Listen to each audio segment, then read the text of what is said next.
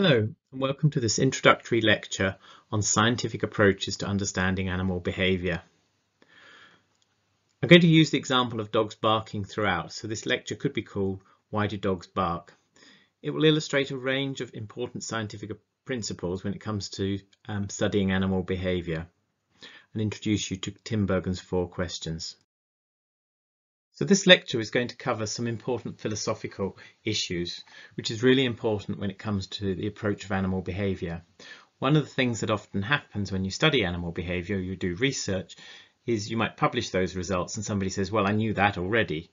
And it's perhaps not appreciated the difference between what scientific discovery tells us versus what somebody's opinion is. And I'll address these issues and others in the course of this lecture. So going to talk a little bit about the basics of uh, scientific inquiry, what the scientific method involves. Talk a bit about why scientists can seem pedantic at times when they discuss scientific ideas. They seem to be very nitpicking on particular words and sometimes the language can seem quite complicated and unnecessarily so. But I hope as a result of um, this presentation, you'll start to appreciate why words are so important. And then talk a little bit about the ways that scientists think different types of reasoning, deductive and inductive, explain what those mean. And then address the issue of when we ask a question of why in animal behaviour, uh, recognising that there are many different possible ways that that question could be answered. And it's important to recognise what it, level and what particular uh, type of why question that you want answered when you ask the particular question. And as we'll see, how good you are at defining the behaviour can have a big bearing on the specificity of the answer that you'll get. So most science starts with a basic observation and a question that can be answered with data. And data are objective uh, information, uh, but it may be just a casual uh, observation something that you observe in nature and you start to think sort of, well, I wonder why that is the case. What's important in science is that we can frame a question that we can test. We can't prove anything uh, for sure, but we can exclude competing explanations till we're left with just the most reasonable explanation. Statistics, as used in science, is often used to try and reduce or quantify the level of uncertainty that we have. So by saying that something, uh, doing a statistical test, we may actually be able to say with some reasonable confidence it's extremely unlikely that uh, an explanation is actually the case, which helps us move towards an understanding of truth. In science, truth does change. Uh, truth is just the best explanation we have at the time, but it's more than just an opinion. It is substantiated by evidence, and that's a key point to appreciate. So we might make an observation that dogs bark a lot. Different dogs bark, different sizes of dogs bark, they seem to bark at different occasions. That might lead to the question, well, why do dogs bark? And this is the question that we'll explore in the course of this lecture. So, why do scientists use such long, complicated words so much of the time? Well, one of the main reasons for this is because many words have many different meanings and so miscommunication can occur. And when we do science, we want to try and be as precise and specific as possible. If the words we use are confusing or inconsistent, as we'll see, then so can the thinking that follows from that. Uh, so sometimes scientists invent special terms in order to try and generate a term with a very precise meaning. Um, but then we find that even some of these terms can have multiple meanings. The risk of misunderstanding is made worse when a given term has a popular and scientific meaning, as we'll see. Uh, we're going to talk about separation related problems or separation anxiety um, as an example. But um, if you take a popular term like stress, stress means different things to different people. And one of the dangers is that one person uses it in, in a certain way and another person either um, as a result of that makes certain deductions about uh, the state of an animal because uh, they have a different definition of what a word like stress means. So for some people, stress might just indicate something like arousal. Uh, in other people, it, it indicates that the animal is suffering. So if one person says this animal is showing signs of stress, they might just simply mean that there is a load on the animal and it's having to make an effort to cope, um, but they're not saying it's necessarily suffering. But another person might interpret that word stress to imply that the animal is actually suffering. And these are the sorts of misunderstandings that can easily happen. And as we'll see when we talk about separation related problems, even we might think of that as a more um, specific scientific term, then it's clearly not the case. So in, particularly in the field of animal behavior and clinical animal behavior where we're managing problems, it's important to define what we mean uh, when we're talking about a given behavior. Because if my uh, definition of separation anxiety is different to yours, then if we're both uh, trying to research treatments, we may come up with um, a treatment which seems effective to me but ineffective to you because you're studying a different population. So language is important and the words we use is also important. It's particularly important, I think, to adhere to this rule when we um, use the written word. Often when we're communicating with people, for example, in this sort of talk, we might be a little bit more lax in the use of the language, but that can give rise to problems. So whenever you read a paper, especially in the clinical animal behavior field, they talk about a given behavior problem. One of the most important things to do is not assume you know what that problem is, but look for the author's definition of it. If you can get into the habit of doing that, then um, you'll safeguard yourself from misunderstanding an awful lot of the literature. So what do we mean when we talk about bark? I said we're going to ask why do dogs bark? Seems pretty straightforward. Everyone knows what a bark is, but it's actually much harder than that. We can all recognize a bark, um, and we talk about barking in dogs in general terms, but the idea of a bark is really based on our personal knowledge.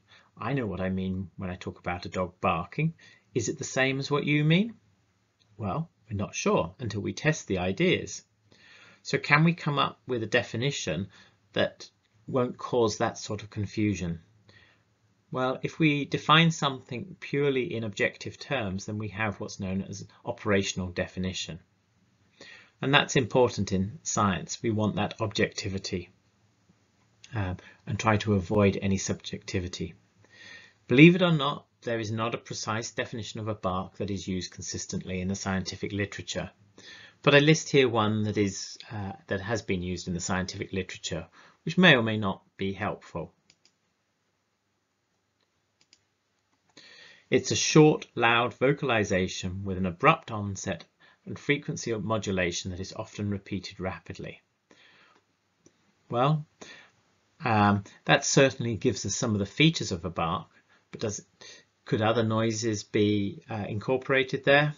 Well, if we're talking in relation to dogs, this probably does describe uh, most of the vocalizations that we'd consider to be a bark. But that's not very accessible. Is there a better way to try and define it? Let's just look at the variety of barks because maybe this is the wrong question. Uh, is there such a thing as a bark? If we walk down a street, um, then Dogs may bark at us. Just watch this video and listen to the different types of bark. Look at the behavior of the dogs as well. Do you think the dogs are all trying to say the same thing?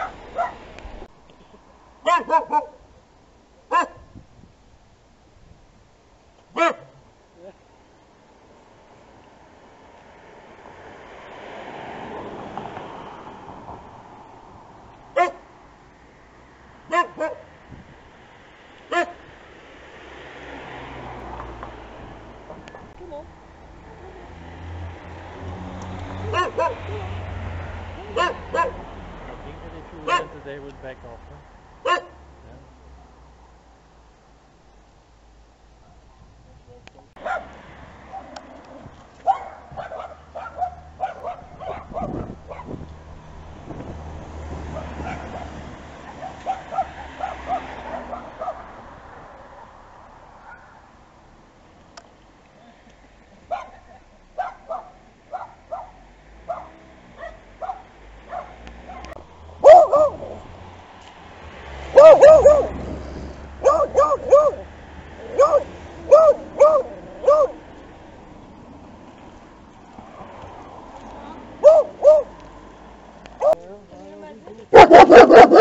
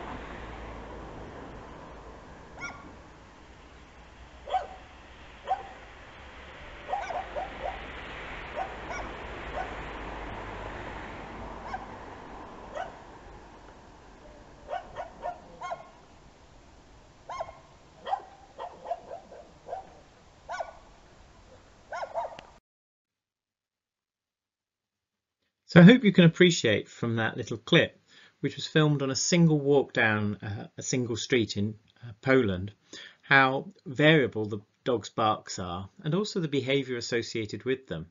They were all presented with a similar stimulus, i.e. myself approaching them, but the barks vary enormously. Um, do they all mean one thing? Is a bark a single entity? Well, uh, it's a particular way of dogs communicating. So the answer to why dogs bark is likely to be complicated. So how do we define a bark? Well, we can look at the physical features. Um, we can look at the context in which it occurs. We might want to ascribe some function to it. We might want to suggest um, different types of emotional basis, or we could look at other relationships. And these are all valid ways of characterizing a bark.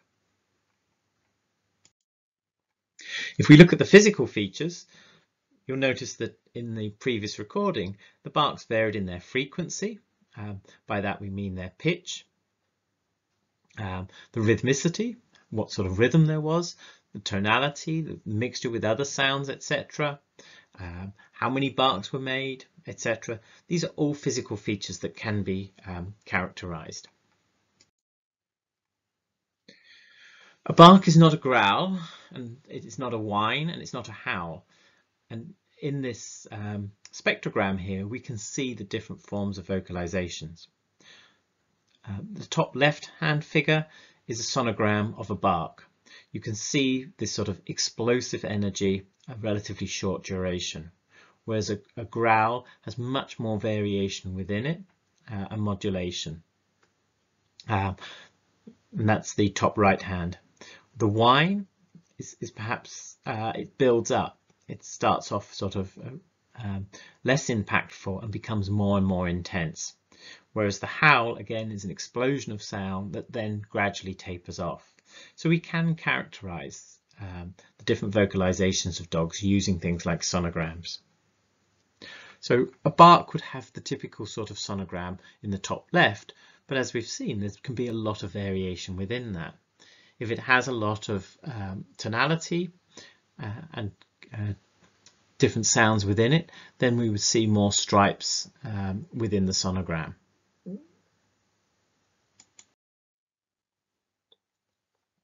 So let's have a uh, listen to some of these different uh, features here. Um, in the first uh, recording that I've got here, we're going to uh, just listen carefully to uh, the quality of the sound.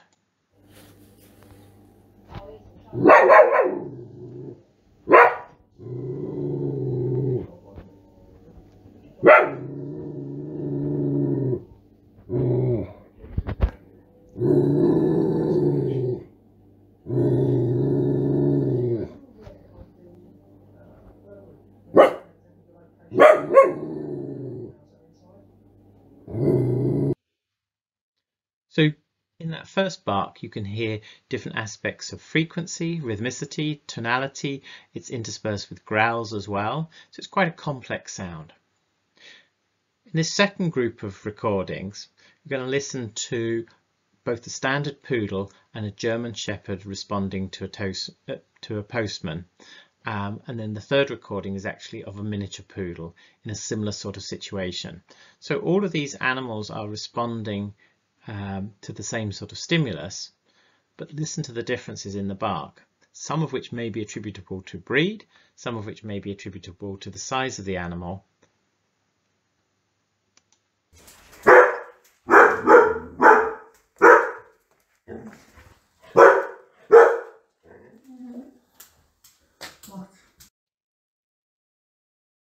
So that was the standard poodle. Now let's listen to the German Shepherd.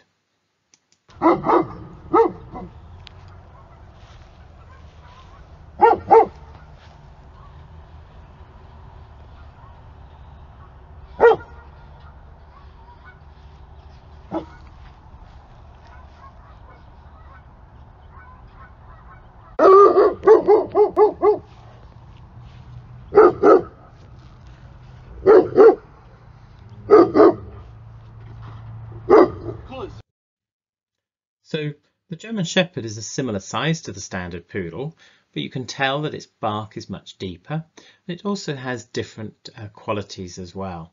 So there may be um, breed related differences in characteristics of bark. Now let's listen to the miniature poodle.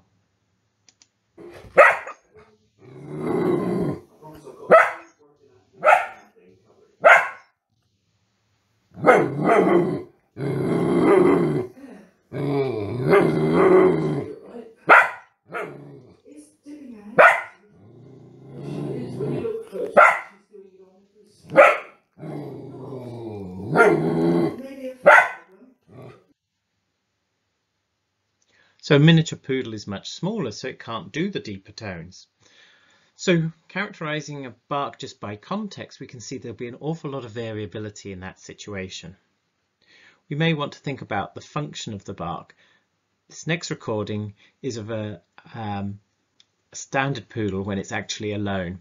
And you'll hear sort of almost intuitively, you'll notice that there's much more emotionality and uh, the higher tones which tend to indicate distress in the bark.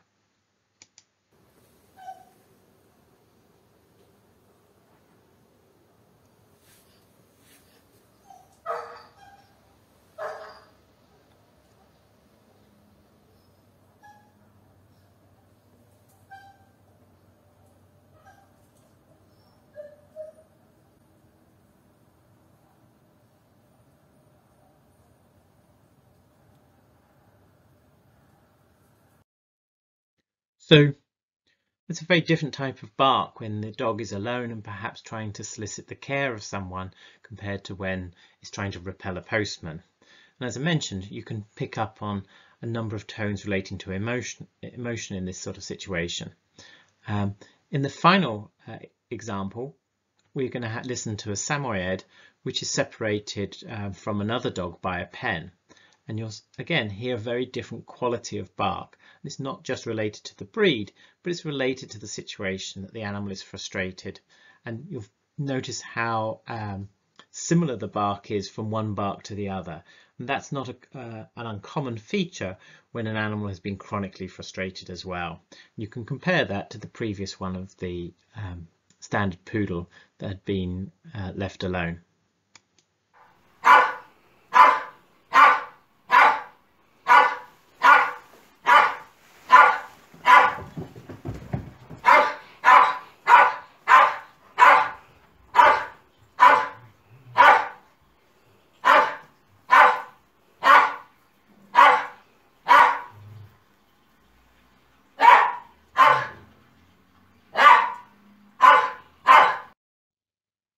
So quite apart from the actual sound of the bark, you can tell that sort of one bark was very similar to the next one. And as I said, that might tell us something about the emotional basis. And there are many other ways in which we could actually qualify the, uh, the nature of a particular type of bark. So I hope from this you can start to appreciate that taking something as simple as a bark, at a superficial level we can call it a behaviour, but clearly there are many forms of bark.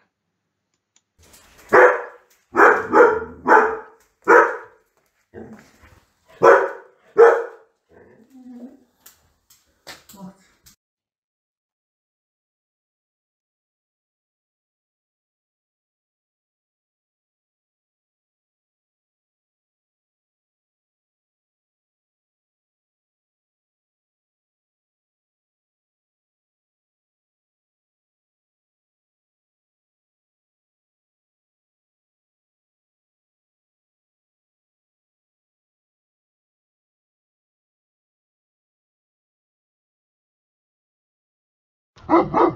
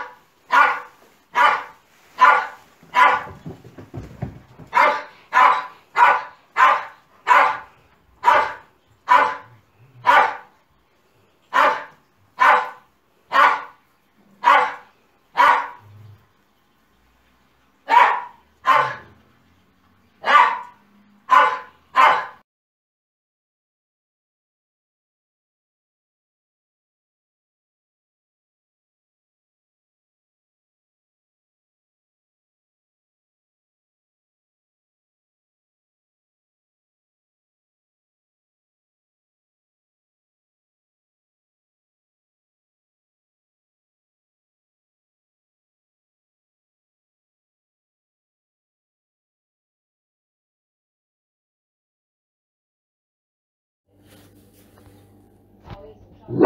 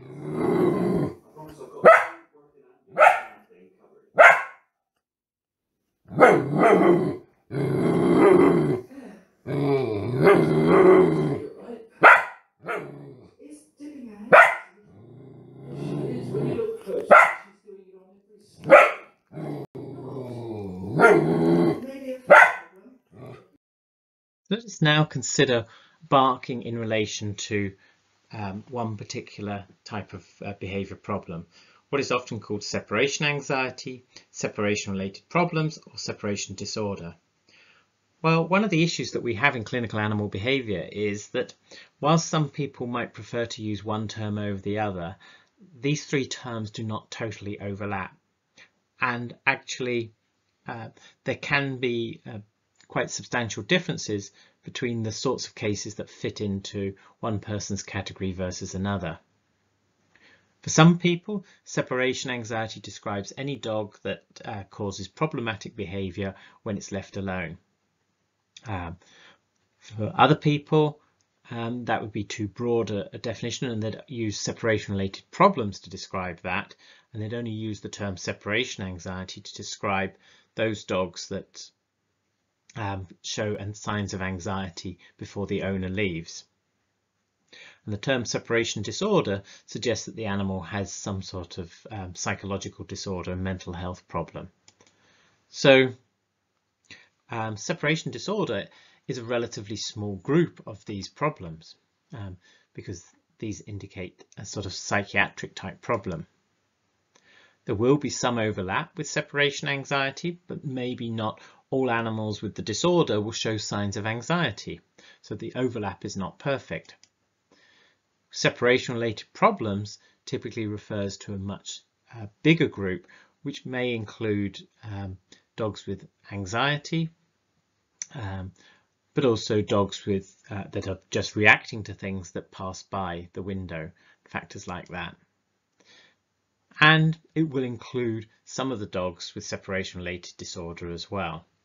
But if the disorder results in a depressive state and it doesn't disturb anybody, then it might be excluded from that particular group.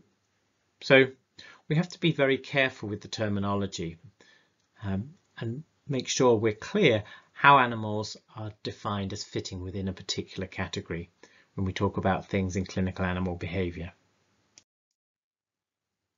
So words are precious in science. Um, sometimes we can use language quite loosely, which can be fine if we're just trying to make a general point, but it can interfere with our scientific reasoning.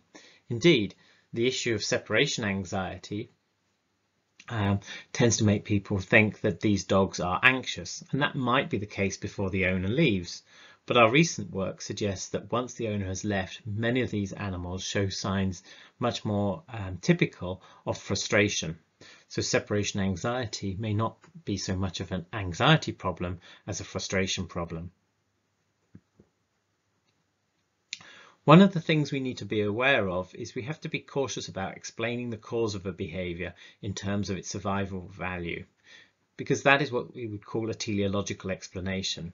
Um, and it may imply psychological states that don't actually exist. So if we say the animal barks to protect itself, then we are implying that the animal has this goal in its mind. Do dogs actually have that ability? Um, and there is a difference between inferring a psychological um, construct um, as the cause or mechanism and a subjective state. So we might say the dog's bark is part of a fear reaction versus the dog barks because he is afraid. It's more defendable to talk about the bark as part of a fear reaction because we can define what we mean by a fear reaction. It is the response that an animal shows when presented with a perceived threat. But to say the dog barks because he is afraid is saying something about the dog's uh, internal feelings and we don't have access to that. And that uh, can make it uh, more open to uh, subjective interpretation and anthropomorphism. So we need to define key behavioural terms in order to avoid misunderstanding. If we accept that animals classify certain stimuli around them as potentially harmful, then, as I said, a fear reaction can be defined in terms of the contingencies that bring it about and the characteristics of the response. But we're not saying exactly how the animal actually fears. So the animals have emotional processes, but whether or not um, how they experience them um, is much less certain. So when we talk about science, we, we're interested in generating facts. Um, and but at the end of the day, those facts are matters of opinion, but they are scientific opinion, and that is different to personal opinion. Personal opinions may or may not be true, uh, but they can depend on unsubstantiated belief. If you believe in something, um, then that can inform your opinion. Um, by contrast, scientific opinion um, must be justifiable um, on the basis of the knowledge we have to date. It may or may not be true. It could be at a later date shown not to be the case, but it reflects uh, the current scientific consensus. It's reasoned on the basis of the available evidence. If you can't test something scientifically, then it isn't, it can't be science. A classic example of this is whether or not there is a God. Science can't address that question um, because it cannot be tested. That doesn't mean whether there is or is not a God. Science cannot contribute to that. Uh, that's a matter of personal opinion and personal belief. Now, your personal opinions may or may not be scientific depending on how you frame them. But what's important is to appreciate when something is scientific versus when something is just a personal opinion. It is very much human nature for us to uh, formulate opinion and then select the evidence to just support that belief. That's what's known as the confirmation bias. And that's the way that we tend to operate. We see something, and when we're asked to justify it, we just gather the information to support that belief. As a scientist, our job is to think about a statement and then look to see if we can gather evidence to show that that's not the case and if there could be an alternative explanation. And that's the big difference between um, a scientific opinion and a personal opinion. So scientific debate will consider the evidence for and against different conclusions and suggest the most rational answer. And I would suggest that um, if someone just presents the evidence for one side of an argument, then they're probably not um, presenting a scientific evaluation of the evidence, and it's more likely to be a personal opinion, even if it is dressed up as being scientific by making references to papers. Um, so you always want to look at, at, stuff, for example, on social media um, and on the World Wide Web and ask yourself, are they just presenting one side of the argument um, or is there evidence that they are actually considering the evidence for and against a particular point and then coming to a rational conclusion? The question then comes is how comprehensive have they been in covering the evidence for and against or have they biased it because of perhaps either uh, innocent mistake or because they have a particular agenda. The thing about being a scientist is you can have a personal opinion, but you should be willing to change that in light of new evidence. So this is particularly important um, given increased public interest in science and the promotion of specific scientific agendas through social media, which is an ever increasing problem. So please do think carefully on these points. It's important that you can spot these sorts of traps early on. So opinions that cannot be tested are by definition outside the realm of science. And scientific knowledge is based on objective data and logical reasoning. And we'll talk a little bit more about logical reasoning now.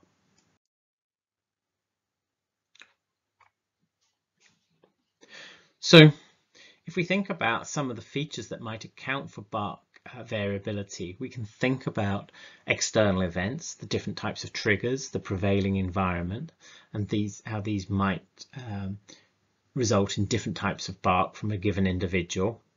Or we can think about it, the characteristics of the individual um, that's making the bark.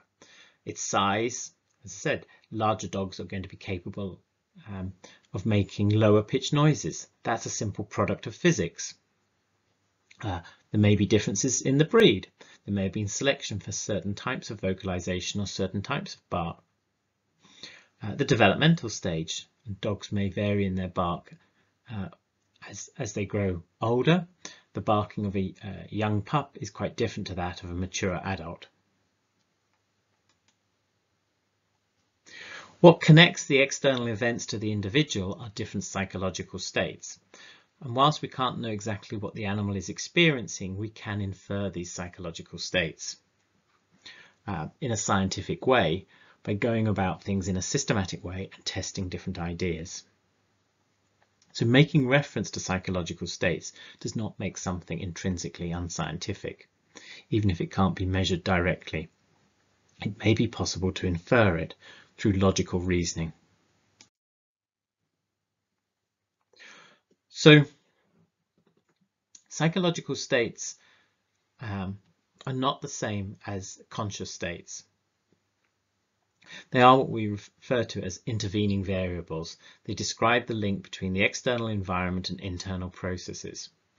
And broadly speaking, we recognize two broad um, types of psychological state in the assessment of behavior. Those relating to motivation and cognition, so what where the animal is perhaps expressing the goal of a behavior, and those that relate to emotion, which is the personal significance, the classification um, of the, a particular stimulus in a particular way, uh, and particularly in relation to the social emotions. Um, classifying something, for example, as a mother uh, my mother will be different to your mother.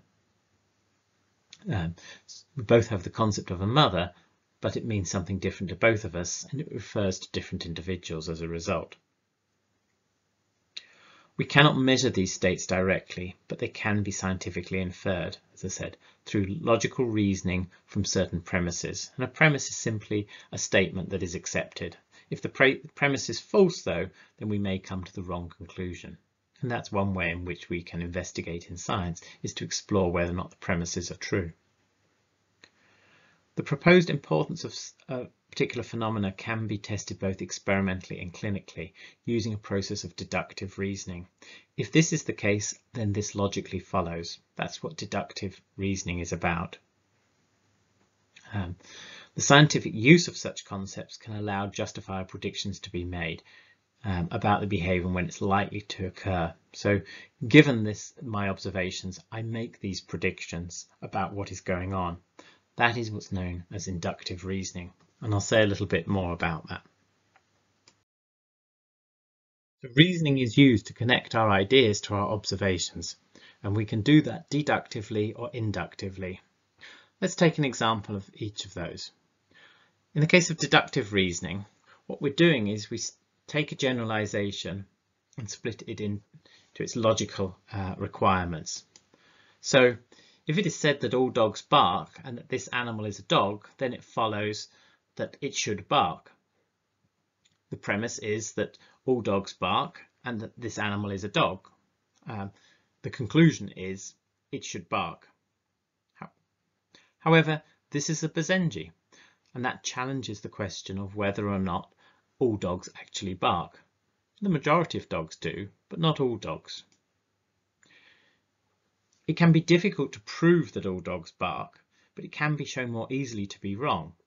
if you think about it, I'd have to know that I have seen every dog on the planet and on any other planet that might exist that is uh, that might exist in order to show that all dogs bark. But I, it is more easy to show that something to be wrong. And this is what is meant by falsification. When we test ideas in science, we're not trying to show that all dogs bark. What we're actually trying to show is whether or not that statement is true. Or sorry, what we're trying to show is to test the uh, truthfulness of that by seeing if we can falsify it. Can we find evidence that that is not actually the case? And that sort of reasoning, you have a hypothesis that all dogs bark, and I deduce therefore that um, if I can find a dog that doesn't bark, then my hypothesis must be false. Then uh, I've undertaken a study using the hypothetico-deductive method. I'm making deductions and I'm using the process of falsification in order to um, test my hypothesis. Let's now look at the issue of inductive reasoning. This is the process of making generalizations on the basis of specific information or observations. So it's sort of the reverse process of deductive reasoning, whereas deductive reasoning is making specific predictions on the um, on the basis of a generality. Here we're making generalities on the basis of specific information. So if every dog I have met barks, I might suggest that all dogs bark. That's an example of inductive reasoning. On the basis of my experience, I make this conclusion. Inductive conclusions are open to being wrong much more than deductive ones. Don't confuse a statement being wrong with the process of falsification used in the hypothetico-deductive method. Inductive reasoning is strengthened by additional evidence, and that is a natural human tendency. We but the more we meet dogs and all the dogs we meet bark, so we might want to think that it's more likely that our statement is true. But it doesn't mean that it is true. It's important to look out for this when you look at what people say about animal behaviour. They might cement uh, their arguments with inductive reasoning. And it only takes one fact to destroy uh, that sort of process by showing that a particular dog doesn't bark.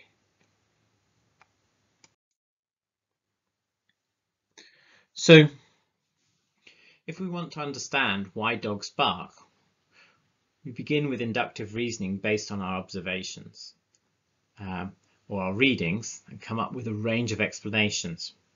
We then test these ideas using scientific methods. That involves deductive reasoning. One of the founders of modern ethology was Niko Tinbergen, and he was awarded the Nobel Prize alongside Konrad Lorenz and Karl von Frisch for their work on animal behaviour. Indeed, it's the only time the Nobel Prize has been awarded for the subject of animal behaviour. They were awarded for the study of ethology, uh, which is very much the European tradition of the biological study of behaviour. In the US, the study of animal behavior was very much um, developed by uh, comparative psychologists. And ethology is characterized by a focus on observable phenomena and the use of the biological method, whereas the comparative psychologists tend to focus on having animals within uh, a very controlled environment and looking at the rules to understand why a behavior occurred. So ethology is a more naturalistic science in that respect. It starts with those general observations and then you use the deductive method in order to generate ideas that can be tested. One of Tim Tinbergen's greatest contributions was to highlight the fact that the question why does a behaviour occur? has several different types of answer, all of which are equally valid.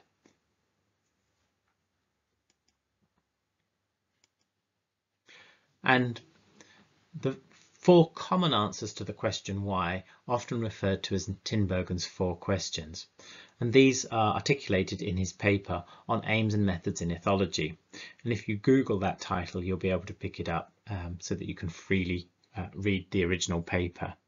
And whilst it's, it's um, from quite some time ago now, it is still worth reading. Um, you realise just what a brilliant writer and a brilliant mind um, he and the other early ethologists clearly had in their thinking on these issues. He suggested that um, one of the answers to the question relates to causation or mechanism.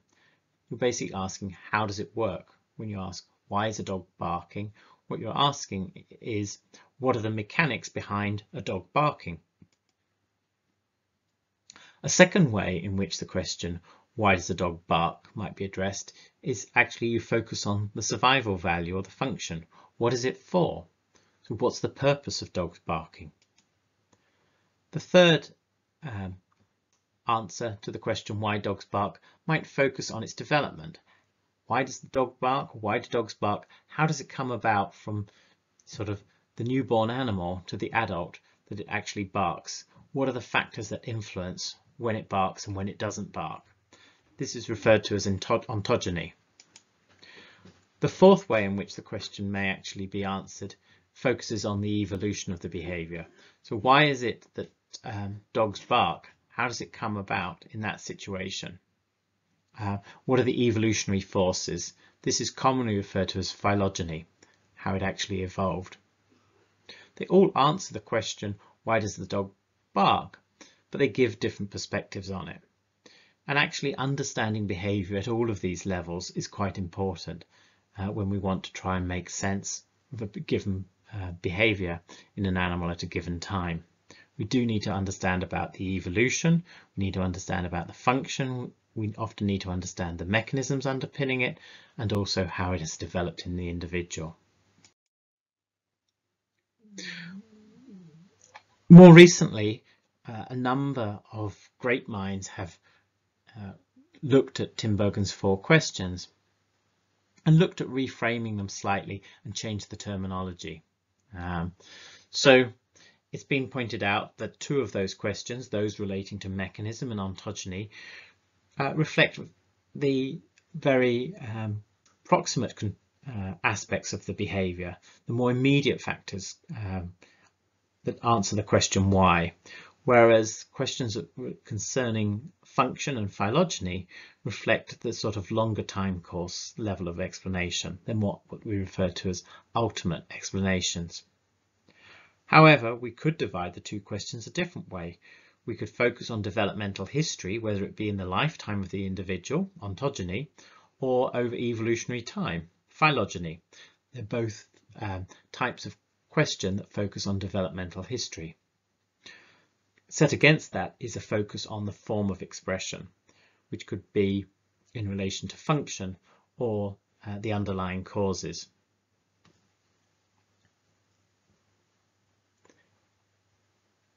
Ascribing a simple function to uh, a given behavior is often unwise. There are, uh, as we've seen, barks are very diverse, and so it might have different functions in different forms or in different contexts. And we now realize that a lot of these processes are much more uh, complicated. So whereas the term ontogeny very much referred to the lifetime development in the individual, we now realize that there are factors um, that affect the, the development within the individual that cross over the generations and the evolution, uh, sorry, and the development of the field of um, epigenetics shows how genes can be switched on and that can actually be passed on through the gametes to offspring as well. So it is much more complicated. If we think about mechanism, we can think about it in terms of physical mechanism. In the case of barking, we'd be focusing on the vocal cords and also the bits of the brain um, that are involved in it.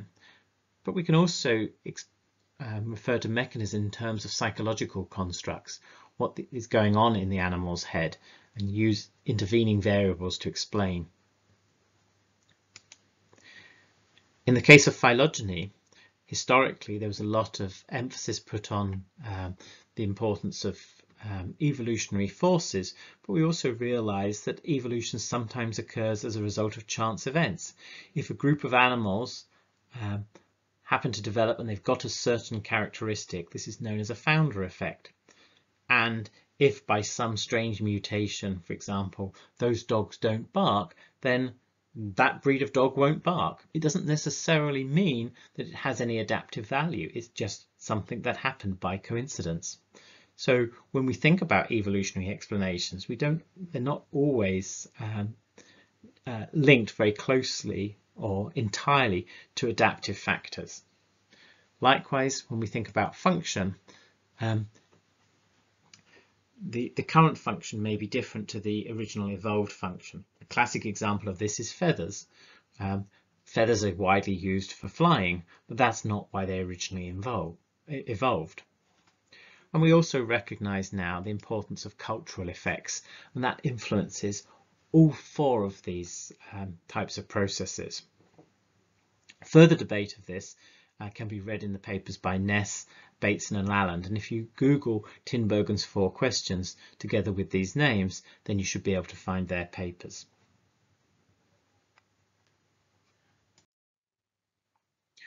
So when we think about the question, why do dogs bark, we have to recognize there is no single or simple answer. Um, a bark, like almost any behavior, is a non-specific response. The more precise we are in defining the bark, the type of bark we're talking about, the more specific we can be about the answers which might be offered in relation to any of Tinbergen's four questions. Whether it be in relation to phylogeny, mechanism, ontogeny or function. The less precise we are in defining the bark, the greater the range of possible answers. And that's an important principle to appreciate when we're thinking about animal behavior. Too often people think about one explanation and they give evidence to support that belief. But as I've shown, hopefully through this presentation, that confirmation bias does not uh, produce necessarily good science. In clinical behaviour, we're often interested in an answer that is very specific to an individual in a particular context. Why is this animal doing this particular behaviour? And the psychobiological approach that we've developed at Lincoln uses a synthesis of methods from both psychology and biology to help us address this question at the clinically significant level. And this allows us to actually test our hypothesis in relation to a particular individual that is presenting in the clinic. We don't have to do mass experiments. Those experiments will tell us perhaps what's happening more often at the level of a population and what might be normal for the population might not be the explanation for the individual. So clinical animal behavior science is very much a science of the individual. I hope you found this presentation informative. Feel free to review various parts of it and I provide references and further reading um, here. The first reference is Tinbergen's classic paper. The next two are the two papers that I mentioned that provide commentaries on it. There's interesting early work from Tembrock on um, canid vocalizations. And uh, Sophia Yin provide a new perspective on barking, pointing out some of the rules, and that has been very much developed further um, and explored by the group in uh, Hungary. And there's some fascinating work, and I give a few examples of their work here. First refers to the fact how humans seem to intrinsically be able to classify dogs' bark in different situations. Um, and that even occurs with people who've um, never seen a dog, who've been blind from birth. A, a, nice summary is found in the Pongrácz paper that's listed there. Um, and that gets you fairly up to date with our understanding of barking. And uh, a more recent paper has found that uh, sort of annoying dog barks suggest that they may have specific acoustic features that actually gain the attention of humans as well. And indeed, as we'll see, you know, dogs and humans have shared their lives for a long time together. So it's not surprising that um, actually there may well be adaptations in uh, either party that are particularly important to the other and that we're tuned into each other to a certain degree. Thank you for listening.